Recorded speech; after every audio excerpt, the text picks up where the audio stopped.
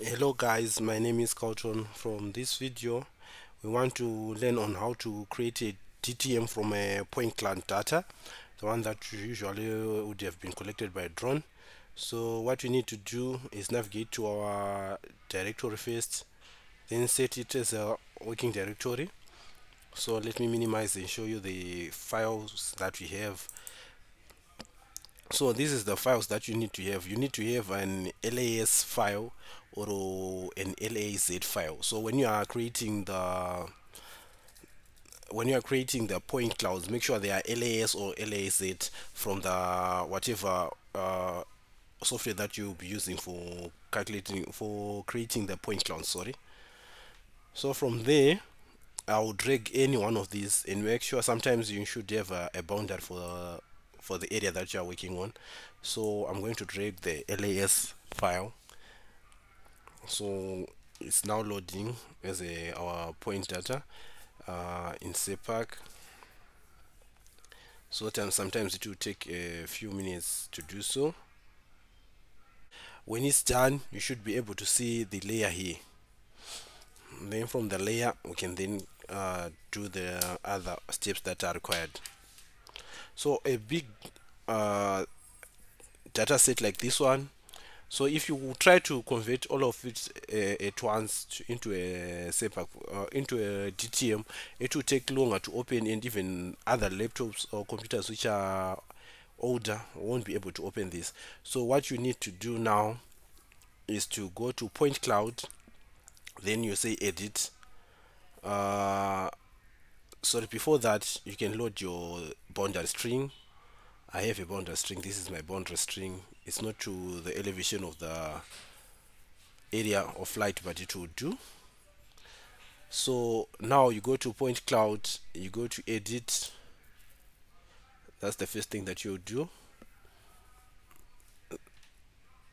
Sorry so I need to select the a LAS file first sorry. That's why it's giving me a warning here.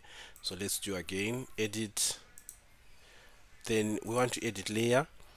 Either you digitize a polygon on the area that you want or you use any of the above but I like using an existing string. Any existing segment sorry.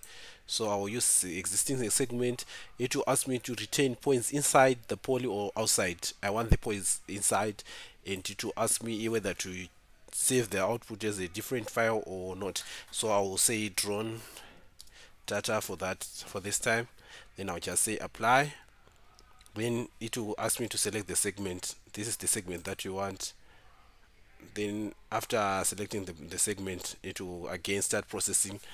Uh, depending on the fastness of your computer and how big the data set is uh, we are looking at something like two minutes uh, two to, two to three minutes for you to finish uh, calculating this.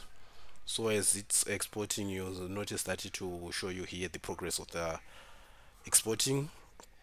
And once you are done it will create a new layer here which will have the name that we have uh, given to the new data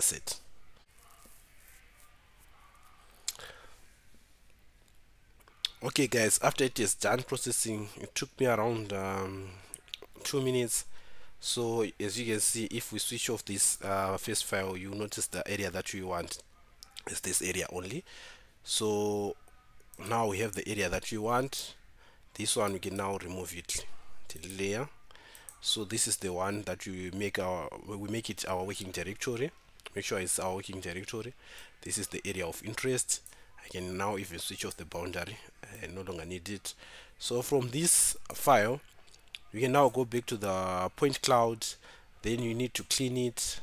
Now it depends with the distance that you want uh, outliers to be. Anything I think for me anything uh, over 0.2 I'll call it an outlier. Uh, then I'll apply it to ask me whether to create a new folder a new cloud but I don't need to create a new one. I will just use the one that I have. If you want to you can create then you rename here. I'll just say apply here. Then after I finish it finishes cleaning uh, the data you can go back again. Here now you just say create services then you want to create a surface from the mesh area in layer. Here you don't change anything. Uh, if you want to repay sometimes it's fine but I don't want to repay anything. Then you come to cloud uh, density classification. Okay sometimes when there is uh, on classification if your data set is classified you, you excuse me you can now select the that uh, the, the data that you want. Maybe you want the ground points only you can select here but the data that I was given is not uh, classified. So we go to cloud density reduction we reduce cloud density. We want to use the deviation. So you can select the deviation that you want. I always use the 0 comma 1 maximum deviation that I want. Then the minimum distance is up to you depending on the point the maximum distance is sorry depending on the points that you want. Uh, this client wanted uh, 2 meter interval so this is okay for him. Or sometimes you have someone who wants 2.5 so it trims the the point so that it it opens a, a bit faster. So now it's loading. Now it is finished. As you can see we have this color which is our string number one color. We can now just save. They need to automatically ask you to save as DTM then you just uh, apply. Then after you apply you will see that we have the DTM string here. And also we'll have the DTM uh, here. So again thank you guys for watching. So when it's done you'll see that it will create an extension here. We can actually reset here. Then we can drag the DTM